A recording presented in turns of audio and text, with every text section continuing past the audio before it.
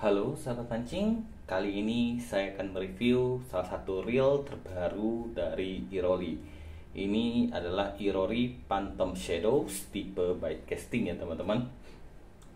Nah, untuk lebih detailnya, mari kita lihat lebih dekat.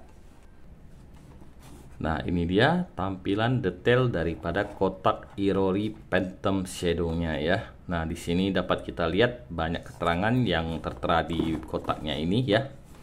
Dan ini gambaran desain pada sebelah kanan daripada Irori Phantom ini sendiri. Oke, nah di sini dapat kita lihat ya.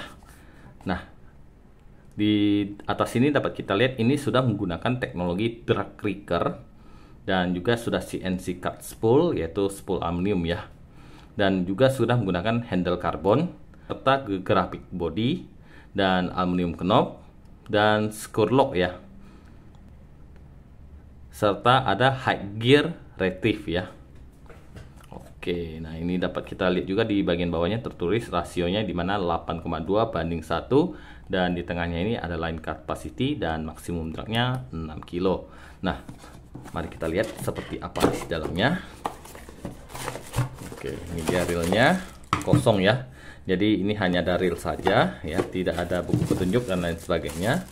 Nah, ini tampilan reelnya ya. Uh, keren. Dengan warna silver metalik ya. Mantap sekali. Oke, kita kemaskan. Nah, ini dia tampilan reel si Irori Phantom Shadow putarannya oke ini cukup smooth juga ya putarannya ya oke nah ini tampilan dari depan ya dan ini kalau kita lihat dari atas ya keren sekali. Dan ada tulisan Phantom di bagian atas dan di sebelah kanannya ini dapat kita lihat ini ada tulisan Hyper Smooth. Jadi rear ini diklaim memiliki uh, apa teknologi Hyper Smooth ya. Jadi bearingnya cukup smooth ya. Mantap sekali. Dan ini ada keterangan yaitu 150 Hg yaitu high ratio ya. Dan ini dapat kita lihat ada close and opennya jadi untuk membuka bagian spoolnya ini kita tidak menggunakan tombol di bagian bawah tapi di sini nih nantinya. Nah ini close opennya di sini. Nah tapi sebelumnya kita lihat dulu di sebelah kanan. Eh sorry sebelah kiri ya. Di sini ada tertulis Iroli di bagian atasnya serta ada tertulis di bagian handlenya ini ya atau settingan dragnya. Ini ada breaker record ya atau record breaker ya. Mantap. Nah untuk di bagian settingan drag coba kita putar. Oke ini masih ada clickernya ya.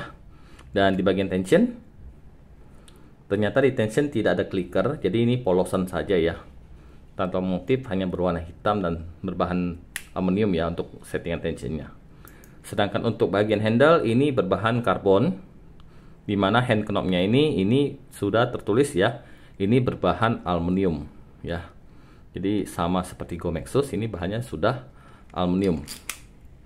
Oke, mantap.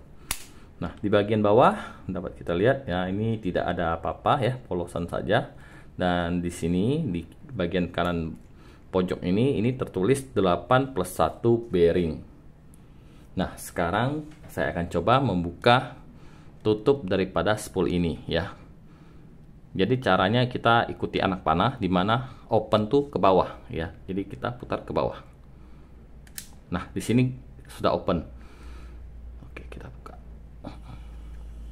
uh. ah ini, ini Coba kita lihat lebih detailnya. Nah, di sini terdapat 12 magnetic brake system dan juga terdapat satu bearing di bagian tengah.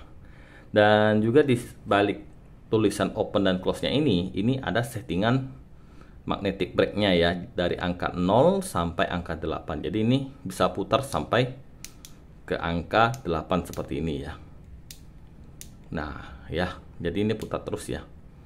Oke, nah di mentoknya di sini sebenarnya ini ada ada lagi angkanya angka 9 biasanya tapi ini tertutup sama on off nya coba kita putar Ya, ternyata benar ada angka 9. Sorry ya.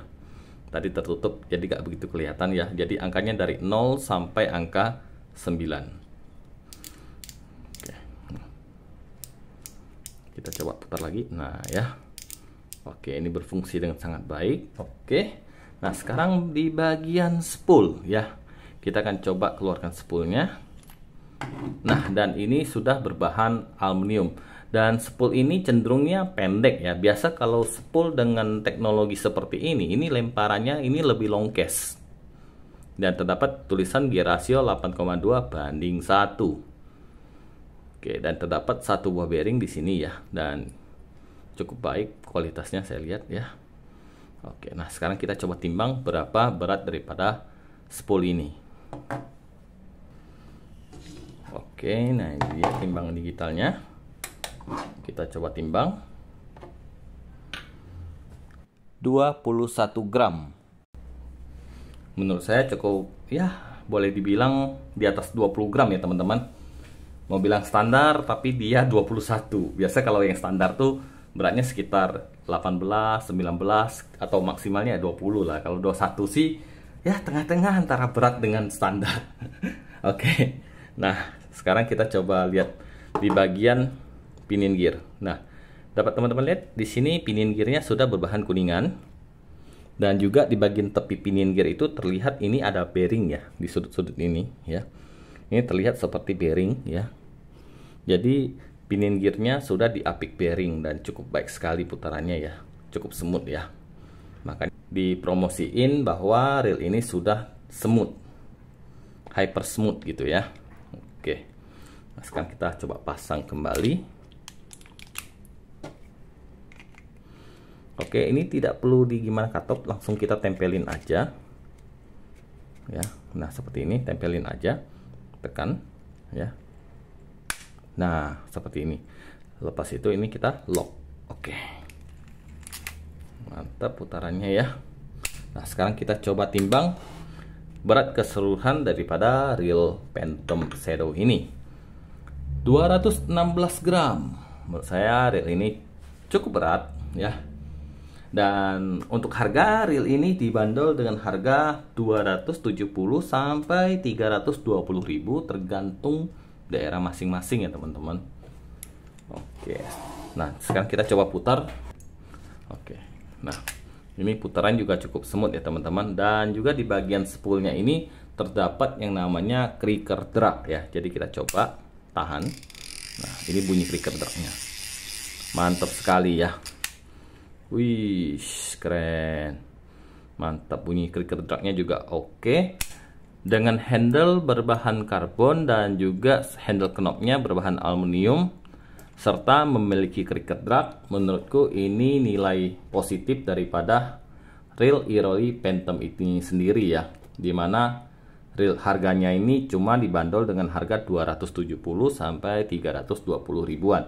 Tergantung daerah masing-masing ya kesimpulannya real ini sangat cocok juga untuk pemula karena dia sudah memiliki 12 magnetic brake system sehingga sangat stabil. Nah, sekian review saya kali ini untuk Irori Phantom Shadow-nya. Jangan lupa untuk like, komen, dan subscribe channel kami di Star Fishing. Terima kasih.